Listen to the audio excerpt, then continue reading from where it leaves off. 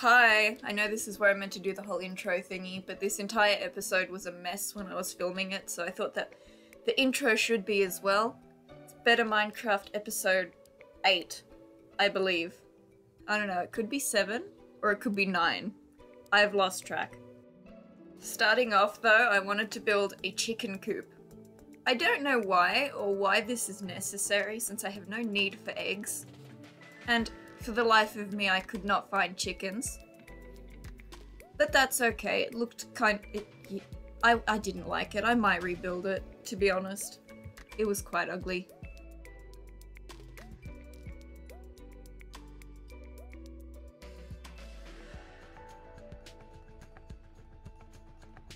Does anyone else struggle with this, or is it just me? Because I can never figure out how to place the hoppers. I don't know why, I always mess it up. Although I'm not doing redstone a lot, so maybe that's why. Maybe if I did that more. Redstone just never clicked for me. I've been more of a building person.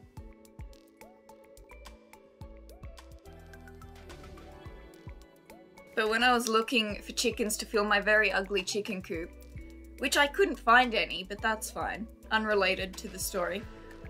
It was snowing, so I thought I'd sleep in this house, which I've seen several times. I've visited several times, keep in mind as well, and never noticed that this guy trades stuff. Which I just thought this was a cool flint and steel. So I bought it. And you know, thought, okay, whatever, didn't think much of it. And slept there the night after, you know, he wouldn't get out of the bed oh so rudely, so I had to break it. I don't know what his problem is. I, it's not like I broke into his house and expected to sleep in his house. But for some reason I looked around. Now I know this sounds like I'm just trying to tell a story, which I am, but I genuinely didn't know that this was here. I put two and two together and thought, okay, maybe that's a portal. Who knew I was smart enough to do that? I wasn't expecting it to light though, so I was a little bit shocked when I found a completely new dimension. Apparently there's two other ones. This one's called the Everbright and the other one's called the Everdawn. So the episode took a turn. I didn't really have any plan for it, but now now it turned into a boss fight. Which really wasn't that difficult, but whatever. Usually I always prep too much for them, which helps a lot. And what are these guys? But I was really nervous since my weapons don't work as well in here for some reason. Whoever thought of that was a genius, like, wow. I took a little look around this tower though, but so thought I should leave since I had no weapons and just entered a strange dimension completely unprepared and without arrows. Mind you, I didn't have arrows, so I thought I should go home. It might be a smart idea.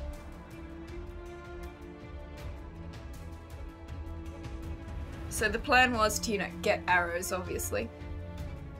And some other stuff so I don't die since this is completely new to me and I have no idea what I'm doing. I've never gone to this place, ever. I didn't know it existed until like a few days ago. So... I wanted to be very prepared.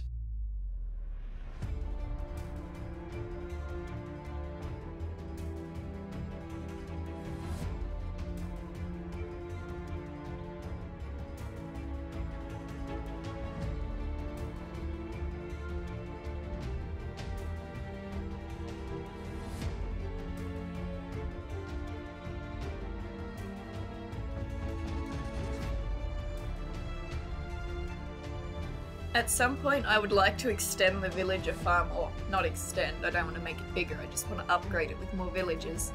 Since I don't really have much.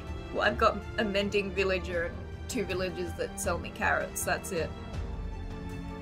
But I was gonna use my elytra this episode. I knew I know I said I was probably never gonna use it. Next episode ends up using it because I can't fit a dragon through that portal. It was I think that Elytra actually saved my life several times, though. So I'm very, very glad I took it.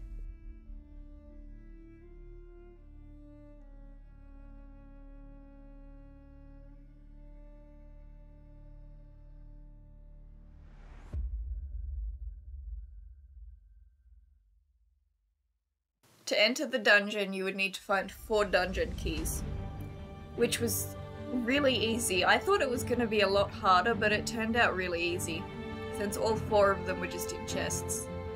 Or brewing stands. It's such a strange place to have them, but whatever. Who am I to judge? And after finding all four dungeon keys, I chickened out because I needed to go craft more golden apples since I had dropped like three on the way.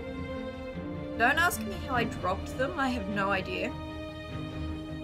But I dropped them and I didn't notice, and I needed to go craft more, and I'm slightly embarrassed. But it's fine.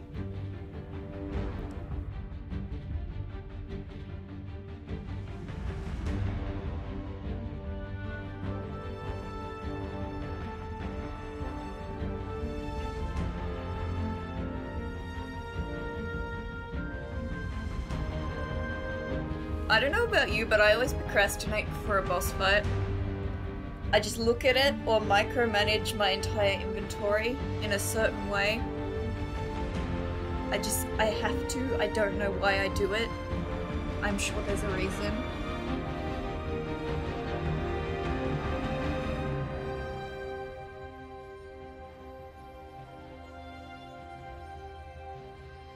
But when I entered, I was kind of disappointed since the room I was in had a hole in it. I don't know if it was glitched or whatever.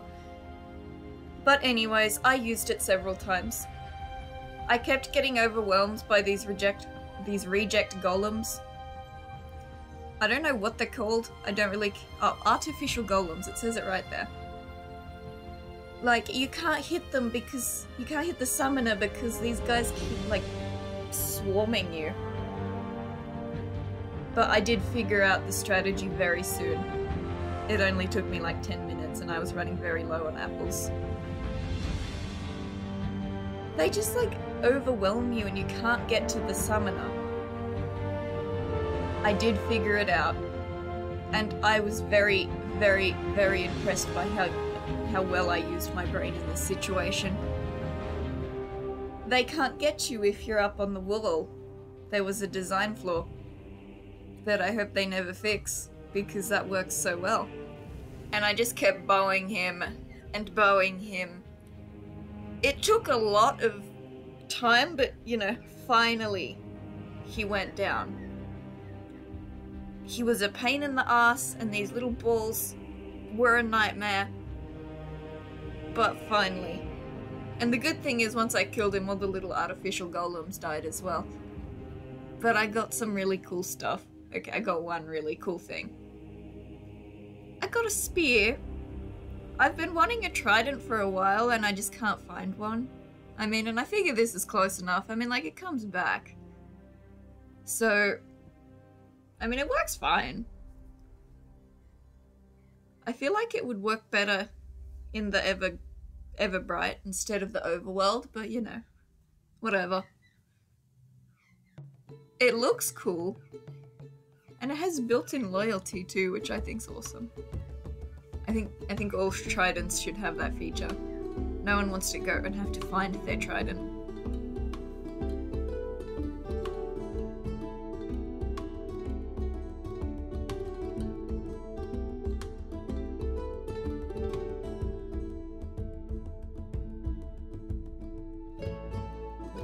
When I got home though, I really wanted to build a barn, since my house is just full of animals.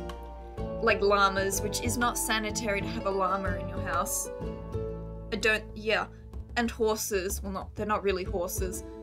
And these mushrooms and raccoons, who has a raccoon in their house.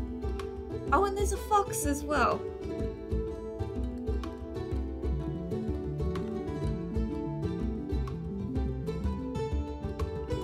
This was where I was going to build the barn though. I wanted to destroy a layer of dirt so it would make more room for the barn. You'll see in a minute once I destroy it all, it'll make sense.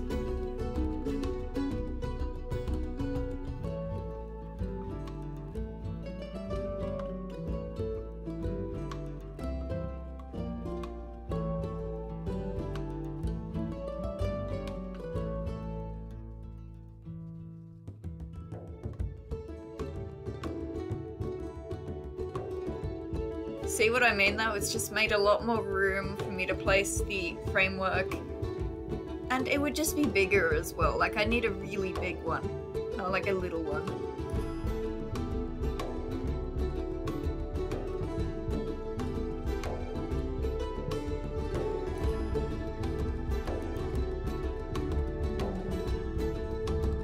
There was wood in the Everbright though that I really wanted and thought, okay, maybe I'll just build it out of something else. It's not this wood, but it's slightly lighter. It's more like a pastel shade. And I was just determined to get it. But the problem is your axe is so much slower here. So it took me so long to get it. But that's fine. See, it's like a pastel shade.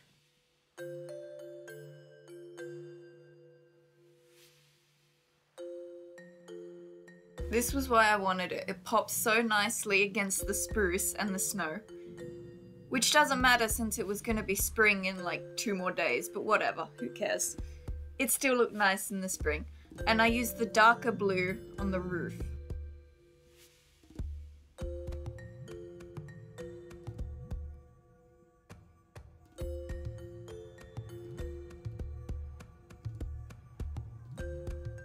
I don't think everyone's gonna like this barn, but I like it, and that's all that matters. I like how the pink as well kind of gives it a nice pop of colour. I don't know. I've had conflicting comments about the pink wood. I love it, and I don't care what anyone thinks about it. But that's fine. So obviously I moved all of my animals out of my house, so now I have my house back. Yay! It only took me like nine episodes. Sorry. Eight. Eight episodes. I'll have to fact check that. What did I name the fox again? I think it was Clarence. Yeah, it was Clarence. And this is what the barn was looking like, fully decorated.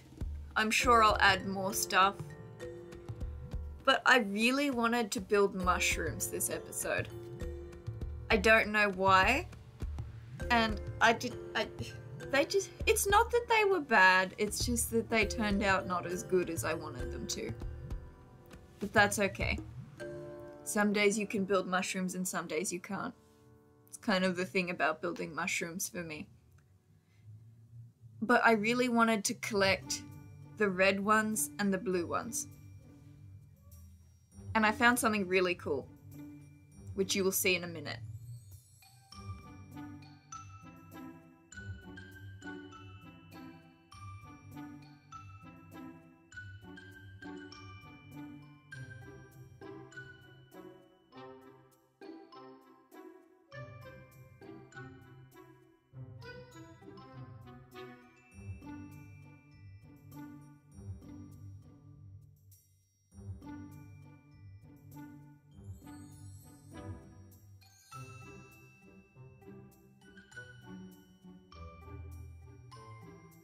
I don't know if you can tell what it is by the side view, but it's a mushroom temple.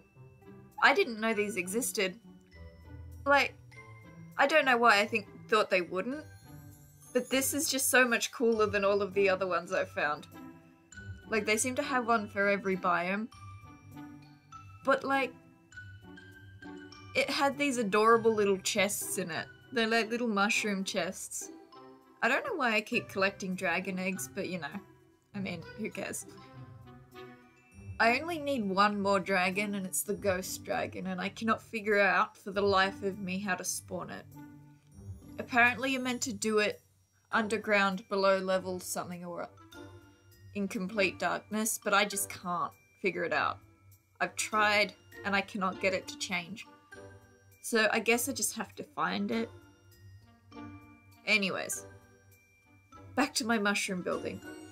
I, I really didn't like this one. But like, I was too lazy to change it. I'll probably get rid of it at some point. It just looked stupid. I admit that. It looked ugly.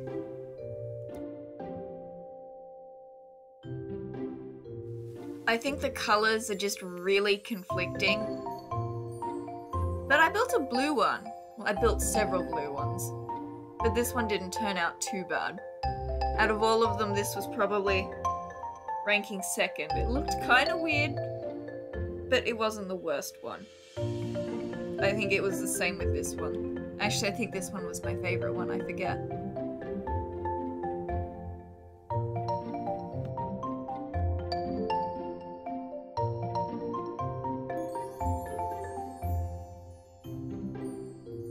That one was okay.